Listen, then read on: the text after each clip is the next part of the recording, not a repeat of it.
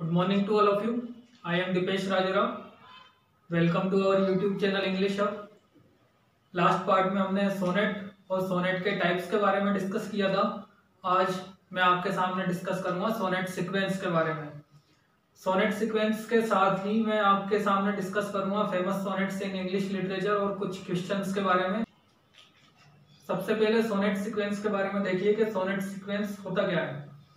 Sonnet sequence के बारे में मैं आपको अच्छी तरह समझाने के लिए अलग अलग विद्वानों की कुछ डेफिनेशंस जो उन्होंने लिखी है, वो लेकर आया हूँ। तो आप देखिए सोनेट सीक्वेंस को सोनेट साइकिल भी कहा जा सकता है।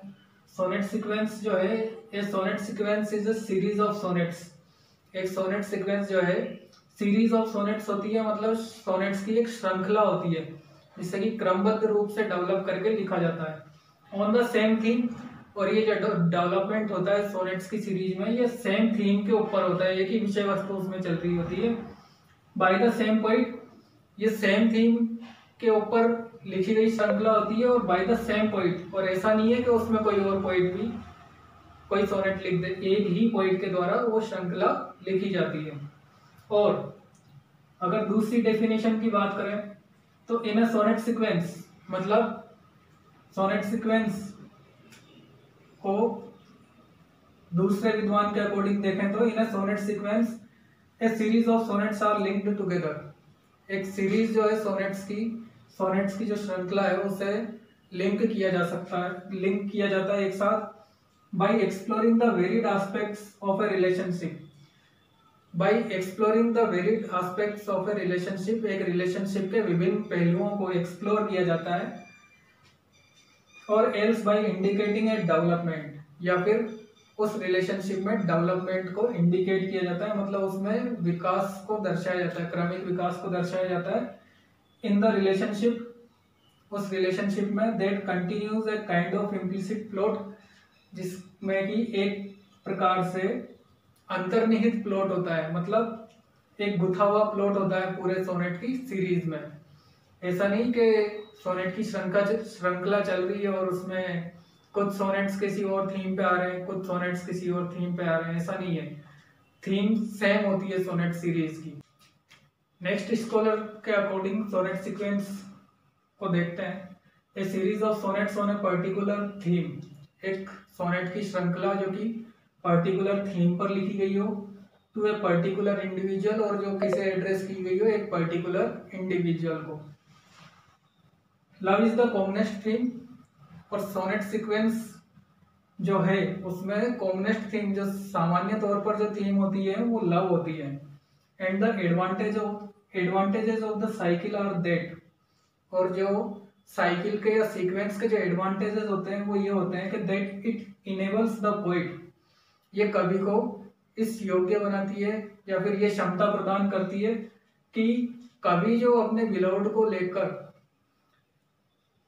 जो सोनेट सीक्वेंस लिख रहा है लव बेस पे तो उसमें पोइट जो है to explore many different aspects तो उस सोनेट सीक्वेंस में पोइट जो है, कई सारे डिफरेंट एस्पेक्ट्स को एक्सप्लोर कर सके and moods of the experience और उसका जो अनुभव है, उसके जो एक्सपीरियंस के मूड्स हैं, उन्हें एक्सप्लोर कर सके.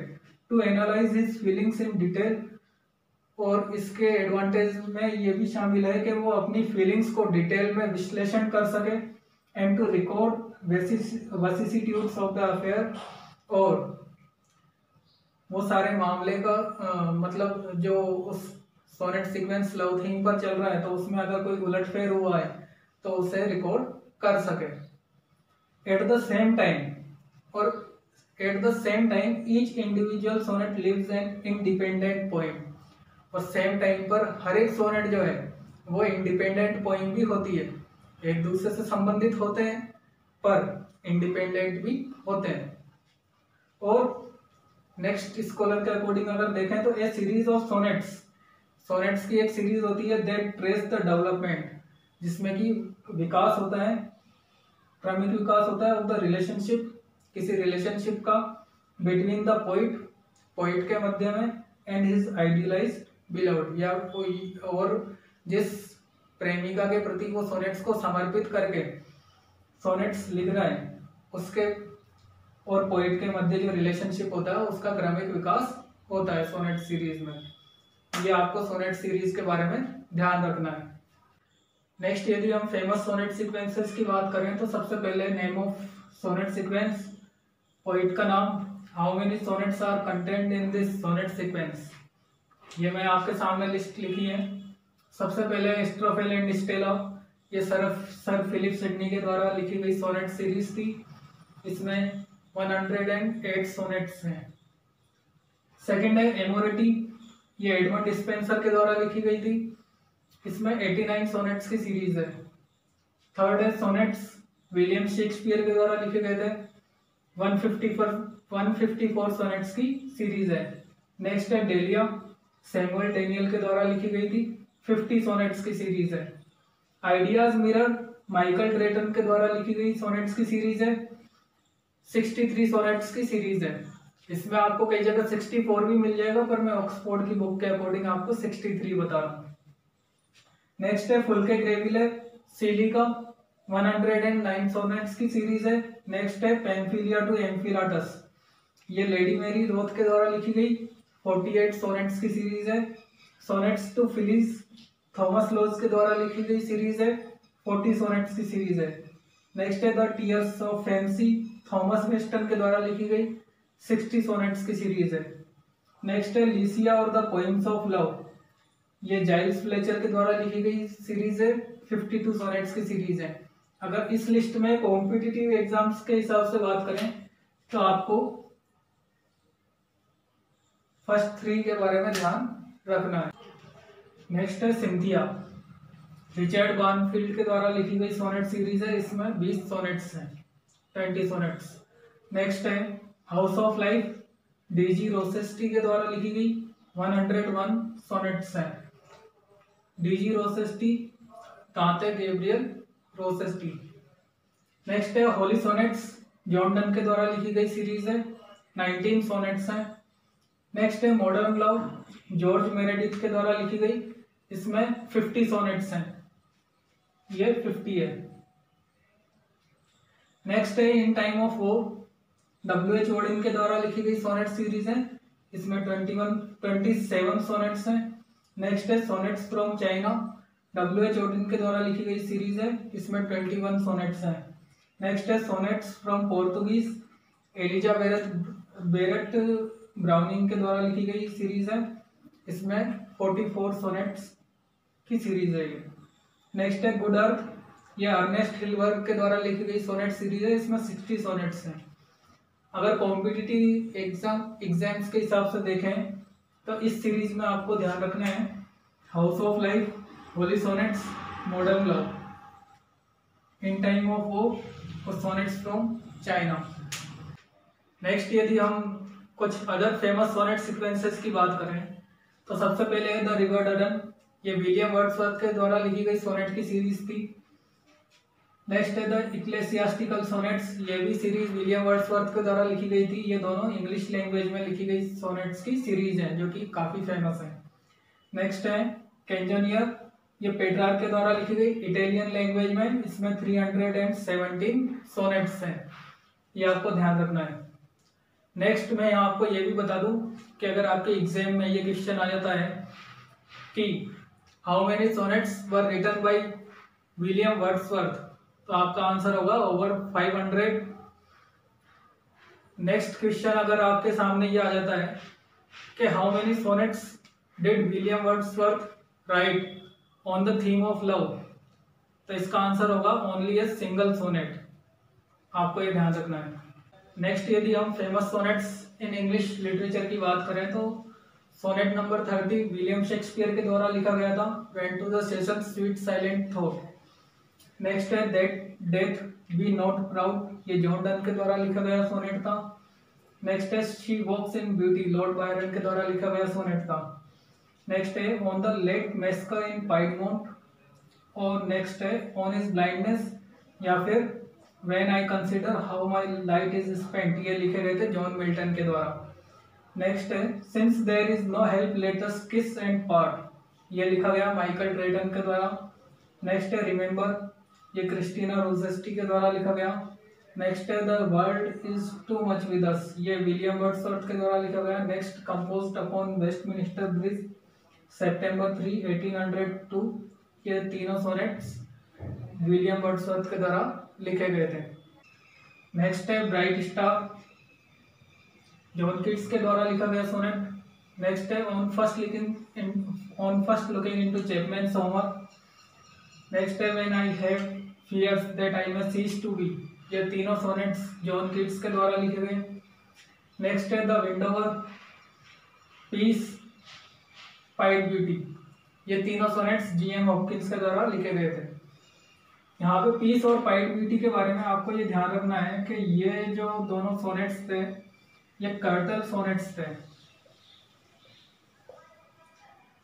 कर्टल सोनेट्स के बारे में मैंने डिटेल से सोनेट्स सोनेट और सोनेट के टाइप्स का जो पिछला वीडियो है, उसमें डिस्कस किया हुआ है। नेक्स्ट है ओजीमंडियास इंग्लैंड इन 1819 यह है ये दोनों सोनेट्स पीवी शैली के द्वारा लिखे गए थे। नेक्स्ट है लीडा एंड स्वान ये डब्ल्यू के द्वारा लिखा गया था। नेक्स्ट है इक्वेंटेड विद द नाइट ये रॉबर्ट फ्रोस्ट के द्वारा लिखा गया सोनेट था। नेक्स्ट है द सोल्जर या फिर 1914 इसका अल्टरनेटिव टाइटल है 1914 ये रूपर्ट ब्रुक के द्वारा लिखा गया था। नेक्स्ट है हेप थॉमस हार्डी के द्वारा लिखा गया सोनेट था। नेक्स्ट विलियम बटलर रीड्स ये भी थॉमस हार्डी के द्वारा लिखा गया था। नेक्स्ट है bird number three Leda and swan ये भी थॉमस हार्डी के द्वारा लिखा गया था। ये तीनों सोनेट्स थॉमस हार्डी के द्वारा लिखे गए थे। नेक्स्ट है टू वर्ड्सवर्थ ये पीबी शैली के द्वारा लिखा गया सोनेट्स था। सोनेट था। नेक्स्ट है टू जॉन किड्स ये एमी लोवेल के द्वारा लिखा गया सोनेट था। ये बात हुई famous sonnets in English literature के बारे में।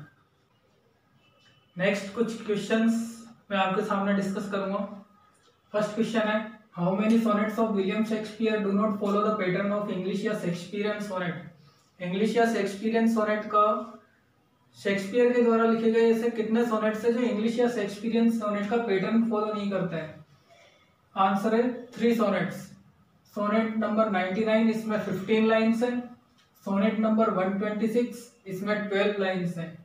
सोनेट नंबर 145 इसमें आईएमबिक टेट्रामीटर का यूज़ किया गया है।